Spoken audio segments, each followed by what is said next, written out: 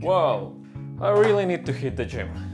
Never mind, it's closed. Toss a coin to your Witcher. Man, this is such a shame that Fightful killed his wife right in the final episode. Are you talking about Game of Thrones? What? No. I understand timelines. Of course, first there was Yennefer, then she went through the forest and had sex. Yeah man, so I just watched the whole season and I want to understand the universe a little bit more. So I bought a game. Oh, which part? First one? Third one. Fuck. Toss a coin to your Witcher. Fuck! Yo man, in this scene when he wakes up in a carriage and this man is saying, Oh, you're finally awake, really got me.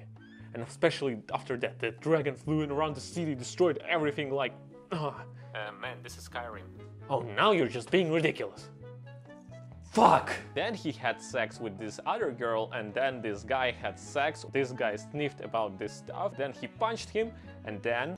Fuck.